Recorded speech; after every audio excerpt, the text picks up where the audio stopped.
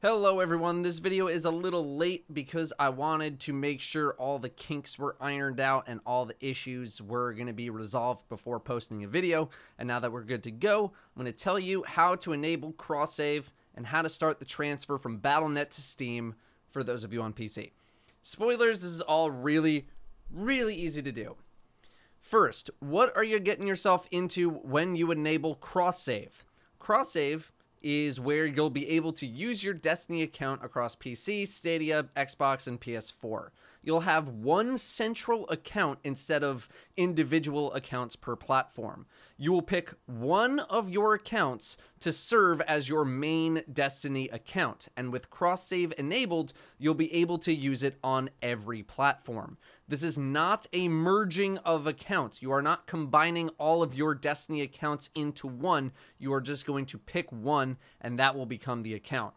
Your other accounts will still exist in the background. They won't be erased, but you won't be able to get to them.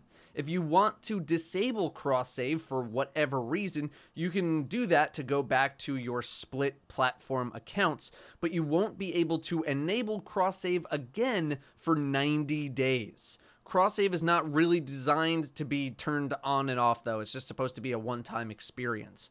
Cross save is not cross play. Cross play, while mentioned by Bungie, seems to be a ways away. Do you need to enable cross save? No. If you only have one account and you don't plan on playing on any other platforms ever, then you don't need cross save. You also need to own the content on the platform that you are playing on. So if you play on PS4 and you want to play on PC, you need to own Destiny 2 on PC in order to play. If you want to play everywhere, you need to own the content everywhere. Licenses don't transfer. Buying silver will also disable the ability to disable cross save until 90 days after the silver is purchased. Being banned or restricted to the game in some way will lock your cross save capabilities until that ban or restriction is over.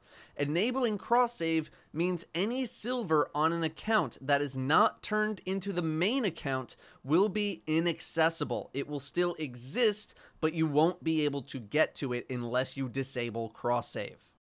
Cross save is found by going to bungie.net, clicking your profile, and then going to cross save. What you're going to do here is log into any accounts that you have linked to your Bungie account just to reconfirm that you actually own them. You'll authenticate those accounts, then you'll go to the next screen to pick which platform you would like to become your main account for cross save. I cannot emphasize this enough. Please pick the right one. Don't pick the wrong one. I've already seen people pick the wrong one.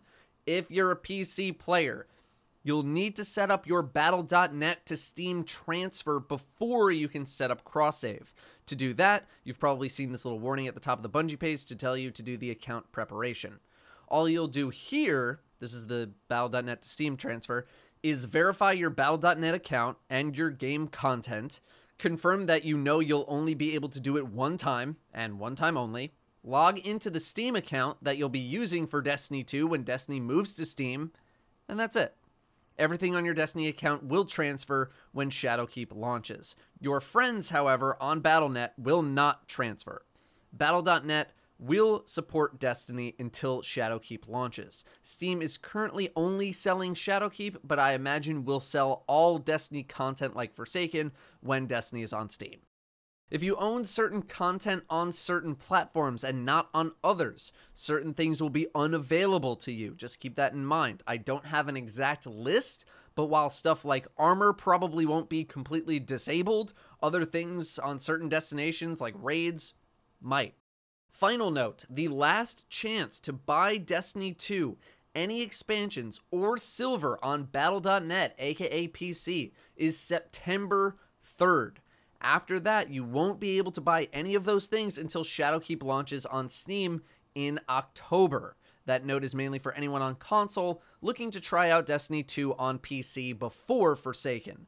The only version of Destiny that is purchasable right now on PC is the complete collection which is $40. That's all I got on cross save. Hope it helped. Thanks for watching. I'll see you next time.